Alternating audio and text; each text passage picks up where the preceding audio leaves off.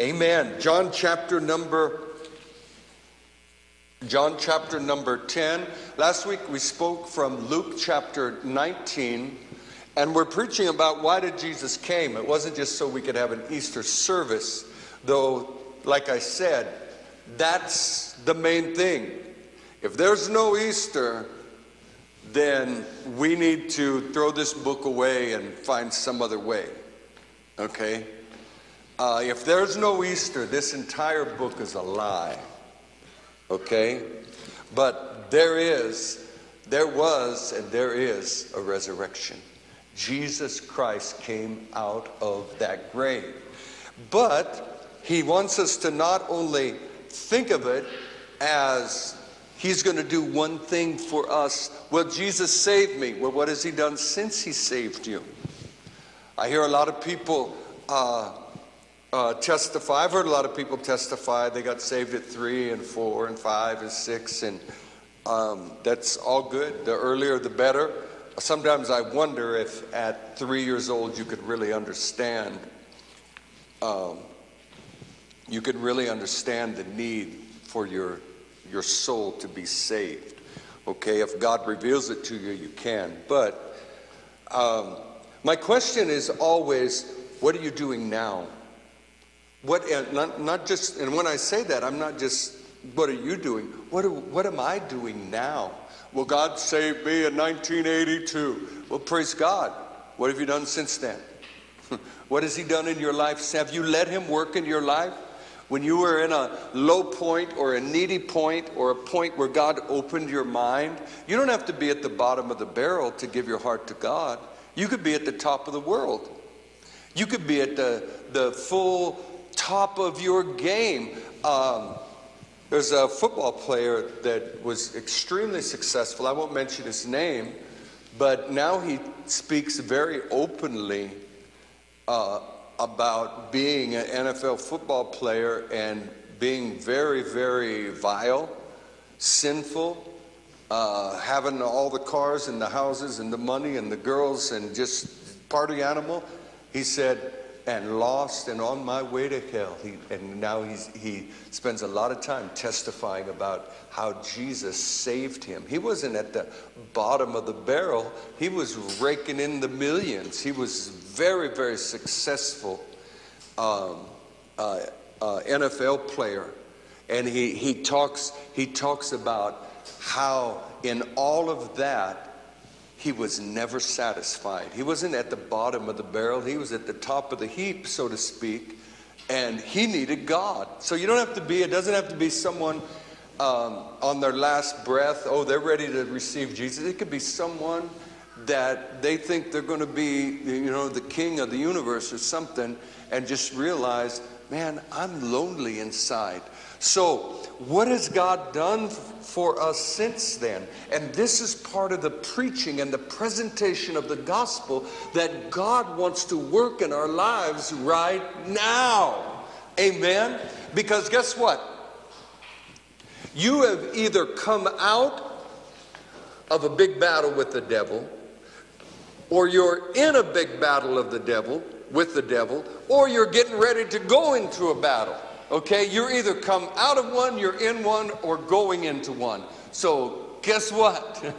There's a song we, we would sing, I'm on the battlefield for my Lord. I'm on the battlefield for my Lord. We're on the battlefield. Christianity is not a picnic, it's a warfare.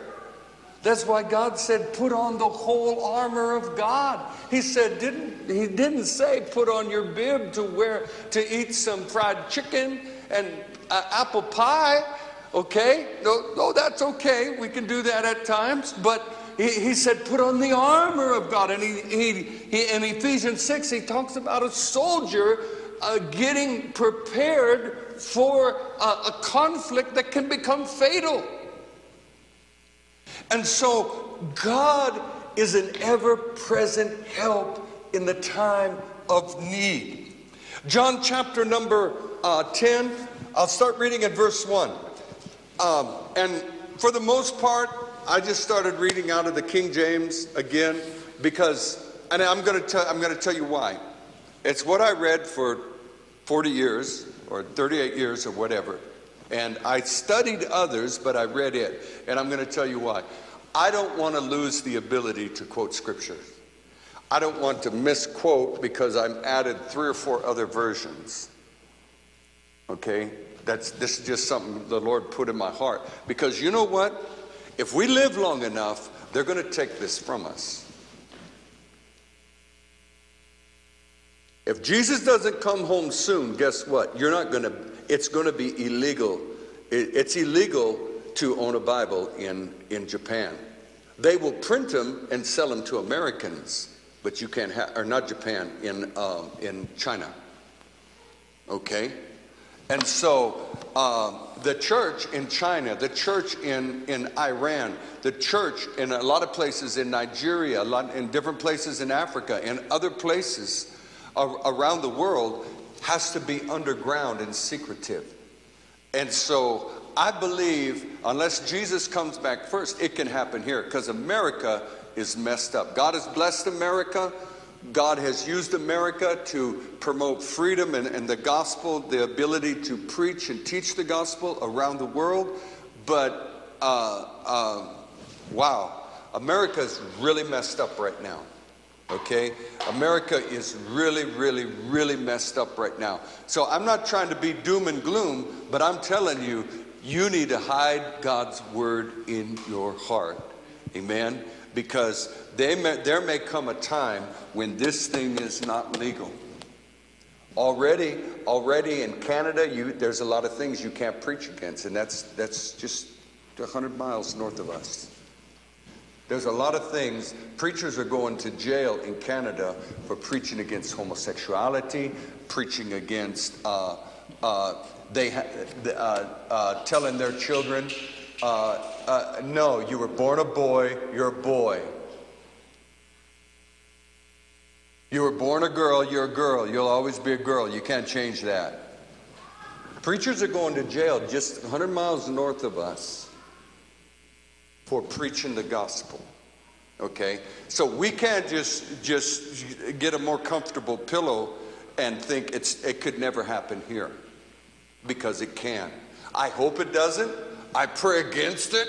I pray for revival where the president gets saved and uh, the, the, the, the, the, the the congressmen and senators and judges and these people that write the laws and break the laws and oh man I, I, want them to be saved okay? I pray against what i'm actually saying. But uh, you better put on the whole armor of god. And you better know what this thing says okay? That's just uh, that wasn't written down. That's just free this morning okay uh, so that's why I, I, went back. I mainly read and teach from the King James. I incorporate the other versions, okay? But I don't want to lose that sharpness because so many scriptures in the Bible, like I cannot even, like I'm not even, it's hard to just, if you ask me to quote scriptures, to just start quoting a whole bunch of them, okay? But if, whenever I need them, because I've spent years putting them, putting them in there, the Holy Ghost brings them to me, and they're there. Okay, it's a miracle of God. So that's why I'm I'm uh, you. I go back and forth. New King James, King James, New Living Translation. Uh, I use the others for reference, but I really that's just kind of a that's where I am. Okay, so just put your seatbelts on and let's go. John chapter one. John chapter 10, verse 1. Verily, verily, I say unto you, he that entereth not by the door into the sheepfold, but climbeth up some other way, is okay and he'll be all right anyway. No, Jesus said, the same as a thief and a robber. Uh, but he that entereth in by the door is the shepherd of the sheep. To him the porter openeth, and the sheep heareth his voice, and he calleth his own sheep by name, and leadeth them out. And when he putteth forth his own sheep, he goeth before them, and the sheep follow him, for they know his voice. And a stranger will they not follow, but will flee from him, for they know not the voice of strangers. This parable spake Jesus unto them, but they understood not what things they were which he spake unto them. now, notice, he's telling them something and they didn't understand it. So, guess what? When you read something and you don't understand it, don't get frustrated. Ask God for the understanding. Ask God for the understanding. God, what does this mean? God, how are you speaking to me here? What do you have to say to me right here, God? I want, I want to know. Okay? Um, verse 7 Then said Jesus unto them again, Verily, verily, or truly, truly, I say unto you, I am the door of the sheep. All that ever came before me are thieves and robbers, but the sheep did not hear them. And that means anyone, there were, oh, there were always people claiming to be the Messiah or the only last prophet of God and, and, and all of that, okay? But the one who was the last prophet, the last prophet of the Old Testament was who? Who, who knows who that was? John the Baptist, okay? It was John the Baptist. When they asked him who he was, he didn't say, I am God's last prophet. Of The, no, he said, I'm just a voice crying in the wilderness, prepare you the way of the Lord. You see, when you know who you are in God, you don't have to make a big fuss about it. when people come up and say, Hi, I'm, I'm Prophet uh, John Johnson, or I'm Prophet George, or I'm Prophetess Mary uh, Mary Lou or whatever, okay, when people have to introduce their introdu- you know, give their introduction like that, I'm already backing up like, okay, if you're a prophet, I'll know it because the fruits will be there. But Jesus said, all that ever came before him were thieves and robbers, but the sheep did not hear them. I am the door. By me, if any man enter in, he shall be saved, and shall go in and out and find pasture or be satisfied and be nourished. Okay? We have to enter by Jesus Christ. He is the way to the Father. Verse 10, he says, and this is the, the this is the um, the scripture text in verse 10. But I want you to notice here, all the way through this, what I've read, the Bible is teaching by contrast the good and the bad. Always catch what the Bible what the Bible is teaching you. God, what are you saying here? Okay, God is showing us bad and he's showing us good. This is this is bad, this is good. This is He's teaching by contrast. And then it gets very plain in verse 10. Jesus said, The thief cometh not but for to steal, to kill, and to destroy. I am come that they might have life and that they might have it more abundantly. Verse 11 I am the good shepherd, the good shepherd giveth his life for the sheep. We're preaching about why Jesus came. Last week from Luke chapter 19, preaching about Zacchaeus, Jesus said, The Son of Man is come to seek and to save that which is lost. Okay? So Jesus came to save. Praise God. When you know, when you realize you're a sinner, that's one of the greatest times of your life. Not so you can go make more sin, but so you realize, hey, as good as I think I am, I'm a sinner and I need to get saved. Sinners need salvation. Amen? Sinners need salvation. You, you really can't be saved until you understand you're lost. That's why people say they're saved at three years old, and I don't want to take that from them. If they live like lived a saved life, then praise God. Okay? But but I mean, I remember my my stepson at uh, he was like four years old, and one Sunday morning we preached and and uh, we had to go quickly after church. It was we were starting a church, so there was probably about ten people there or something like that, and. Uh, Where's Josh? Where's Josh? We couldn't find Josh, little four year old kid. He was at the altar. God had touched his heart. God, has, God had touched his heart, and he felt like he was, I don't know what he, I can't remember what he had done, but somehow he knew he was a little sinner and he needed to ask Jesus. To, so, uh, beautiful place to find a little boy at the altar praying. But Jesus came to seek and to save that which is lost. We're preaching about why Jesus came. He came to save, okay? But salvation isn't the end within itself. Jesus saved me when I was 19 years old. Okay, I just uh, a couple months into after my 19th birthday. Okay, but I'm getting ready to be 61 this spring. So, what he did 41 years ago, thank God for it, but I've lived 41 years. I need him every day. What's the song say? I need thee every hour. We don't need to just sing that when everything goes south on us. We, we, if, if, if we live that, if we live that, then when everything goes south, we're like, well, it's going south again. Praise God. Uh, I don't know what you're going to do in this one, God, but I give you the glory and I just thank you and we, we believe. Because here, Jesus said, I am come, the same one who said, I'm come to seek and to save, he now says, I am come that they might have life and they might have it more abundantly.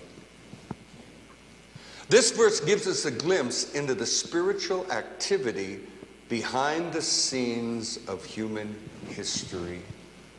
Jesus said, The thief cometh to steal, kill, destroy. The enemy is after every one of us and really every human being, even the ones he has. There, there, are people they you know they boast about worshiping the devil and I'm with the devil now. I'm going to be with him when I die, so I might as well be with him now. They boast about that. The devil is nobody's friend. Humanity was created in the image of God, and the devil even hates those who follow him. The devil even hates those who follow him. I saw this post on Facebook. It said, and I don't know who, who quoted it, it's from years ago. Uh, they, they had it representing politicians in America, but it said, A wicked man will burn his nation to the ground so he can rule over the ashes. Okay? That's Satan right there. Satan, you people can pledge allegiance to him and he'll use them for the you look at, at, at entertainers and people that really get into the satanic stuff, a lot of them die really young. The devil is nobody's friend. He is nobody's friend. I don't know if he thinks that uh, every so many million souls extra in hell will lower the temperature a little bit. I don't, I don't know what he thinks. Okay? But he's nobody's friend.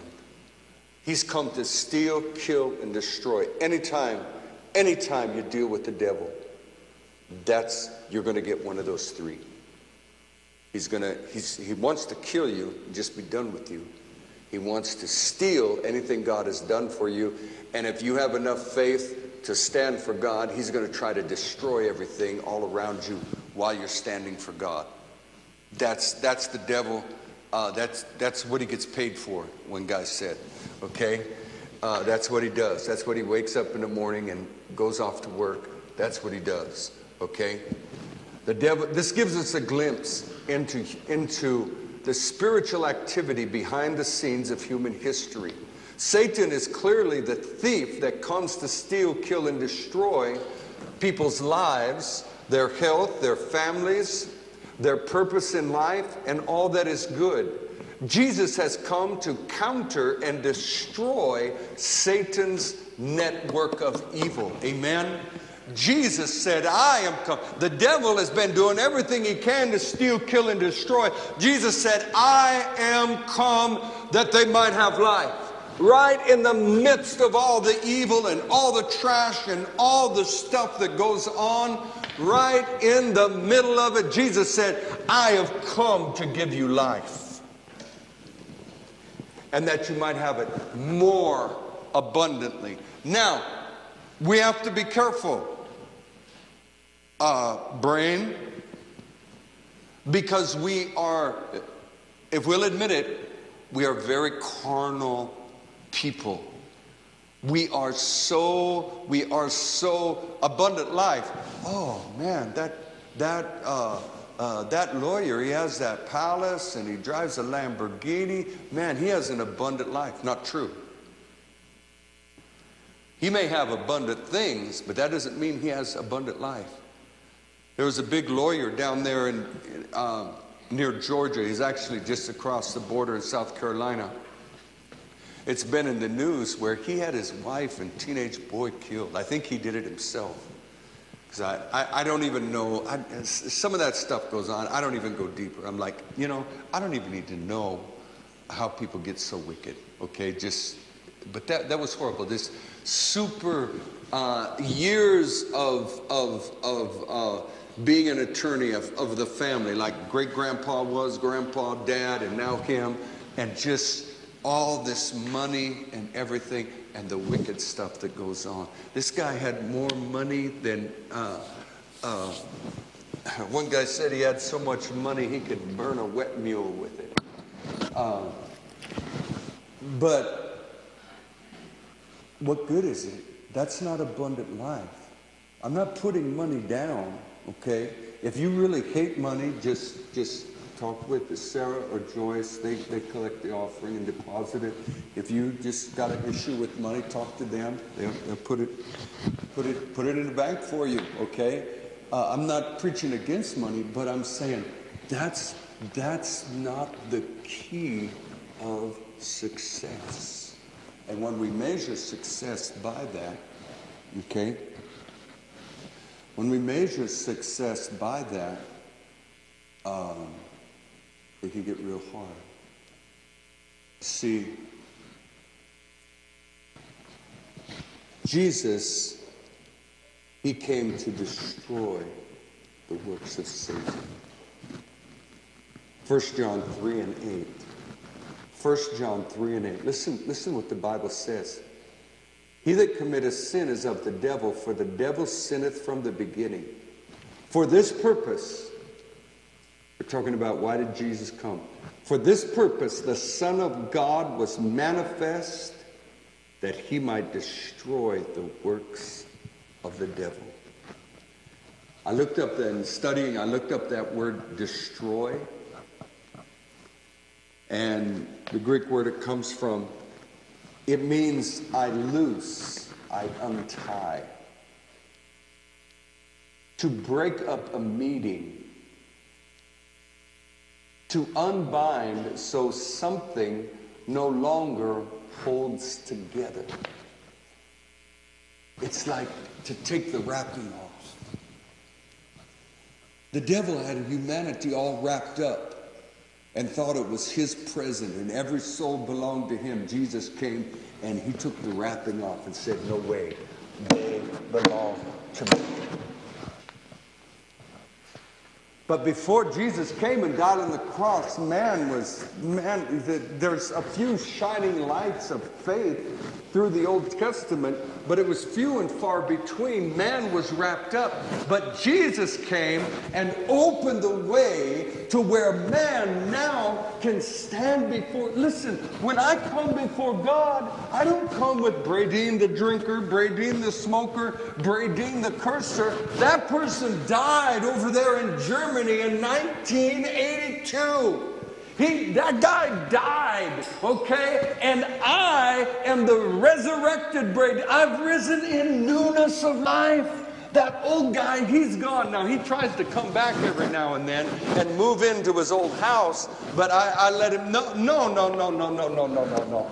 I live here now. Get out. Stubbornness, get out. Pride, get out. Selfishness, get out. Anger, get out. I am new in Jesus Christ. Jesus said, I've come that they might have life and they might have it more abundantly. What's the what's what's the the glory of of of uh, great riches if you can't get along with your spouse? Or you, you, you can't raise your children right, or, or, you know, just whatever. Or you can't, you know who a, a lot of people can't get along with?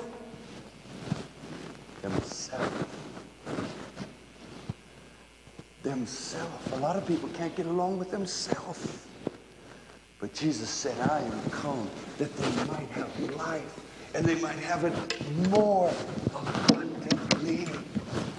Oh, the joy of just a life given over to Jesus. I guess I dropped this thing, huh? What in the world has gone on? I'm sorry. I started hearing funny noises. All right. All right. Try this again.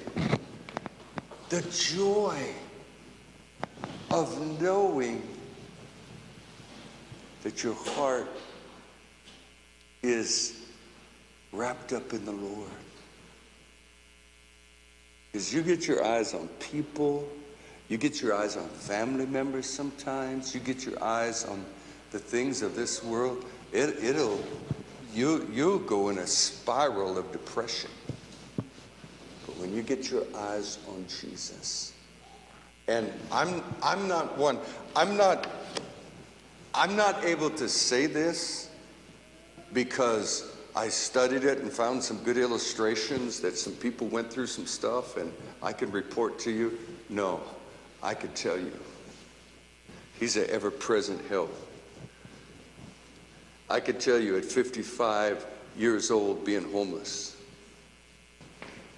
after being the dean of a Bible school and having a church that had about three to 400 people in it, driving an $80,000 automobile and living in a three quarter million dollar home. I can tell you when everything goes south, guess what? There's a song that says, When you come to the place that I'm all you have, you'll find I'm all you need. I had to eat every message I ever preached God reminded me of all the victory I preached over the years. God reminded me of all the worship songs. Just take this whole world and give me Jesus. Just take this whole world and give me Jesus. Can you? That's easy to sing when everything's going right, but man, when the whole world fell apart and there was nothing I could do about it. There was nothing, nothing I could do about what other people were taking control of. Wicked people, evil people, and people uh, uh, used by Satan. And God reminded me of these songs. You know what I did? I sang them. I sang them and the, and the, the, the, scriptures that, that I, I, I would quote to others, I quoted them to myself. And you know what? They don't always work. They don't only work on other people, they work on me. Jesus said, I'm come that you might have life and that you might have it more abundantly. I can testify this is 100% true. 100% true. Colossians chapter, chapter 2, verses 13 and 14. How did Jesus uh, destroy the works of the devil? He did it through the cross. Colossians chapter 2, verse 13 through 15. The Bible says, And you, being dead in your sins and the uncircumcision of your flesh, hath he quickened together, that's made alive, with him. So he made us alive with him. When he came out of the grave, everyone that believes in him, he brought us out. he brought me out of the miry clay. He set my feet on a rock to stay. He put a song in my soul today, a song of praise, hallelujah. Wow. He hath quickened us together with him, having forgiven you some of your trespasses, no, all of them. Blotting out the handwriting of ordinance that was against us, which was contrary to us, and took it out of the way and nailed it to the cross. What was, what was the ordinance against us? The Old Testament, the law, the righteousness that God required. It screamed out against us. You could never measure up. You could never measure up. And that was part of God's plan to get us to look to Jesus. But everything that was against us, Jesus nailed it to what? The cross. You're condemned, whatever it is that condemned you. You did this when you were 18 or when you were 16 or 14, or you did this, or you failed over here, or you did this. These things that speak against us, where can we find them spiritually? At the cross. And when we look to the cross, guess what? I'm glad they're there. Because at the cross is where Jesus broke the back of Satan and broke Satan's power and broke Satan's authority. I love the Bible. It says that um, it said in in verse 15 it says and having spoiled principalities and powers. He made a show of them openly triumphing over them in it.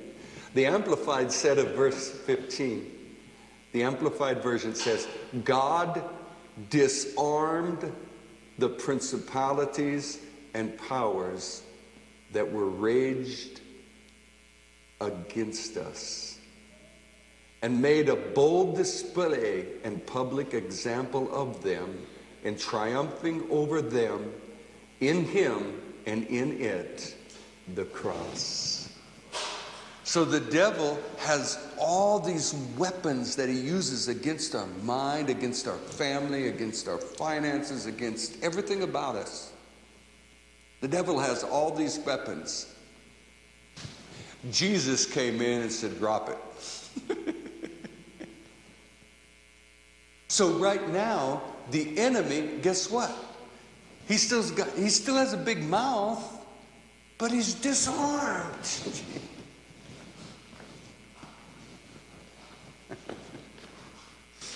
Huh? It's like, it's like, it's like a robber comes at you, okay, and um, he says, hey, uh, give me all your money. I'm taking all your money, okay? And you happen to be a, a concealed carry person, and uh, you pull out your, your, your, your, your, whatever you got, and say, what did you say? And he's going to say, He's disarmed, so he says, uh, nothing. Never mind. Go, go about your business. The devil comes and says, I'm going to destroy you now. I'm going to, I'm going to destroy your marriage. I'm going to destroy your children. I'm going to take everything. I'm going to do this. I'm going to do this. I'm going to do this. All you got to say is, uh, in the name of Jesus, I rebuke you. You're a liar. No, I could do it. No, God disarmed you. I wish you would have uh, put duct tape on your mouth. He didn't do that, but he disarmed you. I guess God left his mouth uh, or his, his, his lies about us so we could be tested to strengthen our faith. God disarmed the devil, folks. God disarmed him. He's a defeated foe. I mean, what, what can you do to the Christian? Okay? Can you, can you, I heard of him in a persecuted area where they, they were persecuting Christians and they, they got them there, and one of the guards told the other, said, what can, what can we do with him? If we beat him, he believes he gets more rewards in heaven for suffering for Christ. If we, if we kill him, then he gets to go to heaven and be with Christ. What can we do with this person? what can we do? Jesus not only disarmed the wicked one, but gives life that is redemptive and abundant. That means full to overflowing. Listen, do you know when you can just stand there, maybe no one else around, and what I've found in my loneliest hours, I'll look back. I, I wouldn't trade him for anything. I'm not asking for more of them. If they come, then God knoweth, okay? If I need some more, and I'm sure I do, they, they'll come as they come. But looking back, you know the times that I thought it was over, looking back, those were the best times of my life. Those were the times that I had nothing to hold to but Christ. And those were the times that, that my faith, and those were the times that I, I remember at 55, the devil, the devil say, hey, you're all alone now. Why don't, why don't you, you can't sleep at night. You, you got all this on your mind, you can't sleep. Why don't you go get, why don't you go get a, a some Crown Royal? Nobody know you'll have it and just sit here and, you know, it'll help you sleep. I said, devil, get out of here. God told me to quit that stuff long ago. I had to fight each one of those battles. Well, they've legalized marijuana. It's not legal now. Why don't you, you know, you used to smoke marijuana. Why don't you go get some of that? It'll help you calm, it'll calm your nerves. And I said, get out of here, devil. God told me to put that down. I would not trade those experiences in my life for anything. Once again, I'm, I'm not a fool. I'm not asking for more. God knows how many more I need and when I need them, and I'm sure they'll come. But looking back, those are the times that the presence of God was so real in my life. So amazing. One, one writer from, from a few centuries ago wrote, he said, about battles and trials. He said, God does so much in them in building who we are. He said, if it was, I think he said, if I remember right, he said, if it was legal, I would almost pray for more battles just to get closer and closer to the Lord. I'm not there yet. I'm not praying for more battles, okay? Like I said, they'll come. The ones I need, I'm sure God, God will send them my way. I'm not praying for more battles, but I am saying this. You know what? As the song says, in those darkest hours, those precious, lonely hours, those are the times that God drew the closest. Those are the times when I had, uh, there was, there was no, no one in reach to reach out to but God. And it seemed like uh, the devil had the, the, the extra key to my house. It seemed like he came around a lot. But you know what? In those times, that's when God makes us. Abundant life, don't judge it the way the world judges it. Judge it by closeness to God. Judge it by, by, by the closeness to God. When, and, and, and I'm, Abby and I, I'm actually in the process of buying some of the, I lost my total uh, library. I had quite a library of, I mean, old books and, you know, missionaries. One book I want to get, if I could find it, it was called Before I Kill and Eat You. Uh, it was a missionary that went to Liberia. They called Liberia in the early 1900s. They called it uh, called it the white man's grave, and just amazing, amazing things. But these people that, that drew close to God. There's, there's just something about it. When you don't have anything else, but you have God, that closeness. I, I, I, don't get me wrong, please. I, I like big houses and brand new cars. Okay? I'm, I'm, not, I'm, I'm not preaching against that. Usually, people who like outright preach against it, they're jealous because they don't have it. Okay? I'm not, I'm not preaching against those things as God brings them to you, but what I'm saying, Jesus said, I've come to give you life and that more abundant. Abundant life is not in the things that you possess, but abundant life is in the one that possesses you, Jesus Christ. Let's bow our heads and pray. Father, I thank you so much. Lord, you did not just come to save our soul from sin, though that's the main thing. That's the start. We have to start at salvation. That's, that's the start. Dear Jesus, you came that you may reconcile us to God. Lord Jesus, as one person said, they suspended you between heaven and earth to symbolize that with one hand you reached up into heaven and grabbed the hand of the Father, and with the other arm you reached down and grabbed a sinful humanity, and through the blood of your cross you reconciled us back together. The fellowship that God lost in the garden with Adam and Eve through their rebellion and, and, and allegiance, uh, pledging allegiance to Satan God lost the fellowship of his creation and he's longed for it. And God, you long for that fellowship today from each one of us. God, help us. Help us, Lord, to look to the cross. Help us to look to you. Help us to trust you, God, with all that may come our way. God, we thank you for your mercy. God, we thank you for your grace. Oh, Father, thank you. Why don't you just spend a moment and just thank God for his mercy? If you would like special prayer,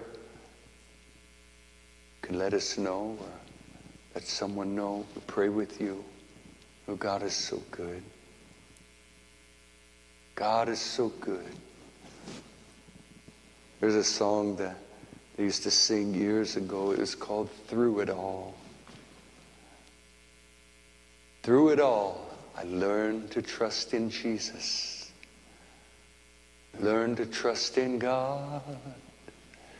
Through it all, through it all, I've learned to depend on His Word. Oh God, help us to depend on you, to trust you. Father, we pray for, for healing and mercy and grace for Pete, dear God. Touch him this week as he's preparing for an operation. Dear God, we ask your hand upon him. your healing. Father, anyone else going through whatever it is, God, touch them. God, touch us. You know, I'm impatient, dear God. And I would like to see, I would already like to see a Bible, uh, uh, uh um, ministry training center developed here in, in Shalim. I would already like to see that. And it's not happened yet, but God, in your time, Help me, God, in the times of impatient, not to look away from you, but to continually look to you. Because I know you're building my soul. You're drawing me closer. You have to be able to trust me. Many people have done you wrong over the years. Paul said, Demas hath forsaken me, having loved this present world. Others have forsaken you, dear God.